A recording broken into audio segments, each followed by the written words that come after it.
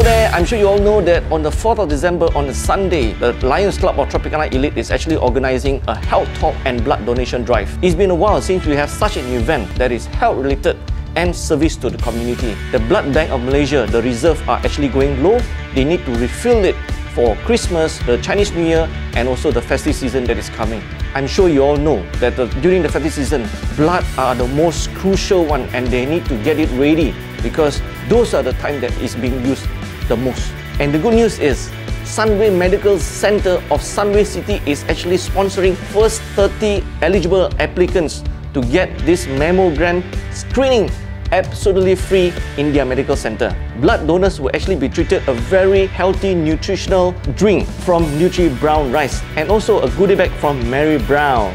Yes, you need to register for health talk because light refreshment will be served as well. Isn't it amazing? You don't even need to spend money and you gain knowledge with regards to menopause, cancer and a few other chronic diseases. The seats are filling up, so don't wait.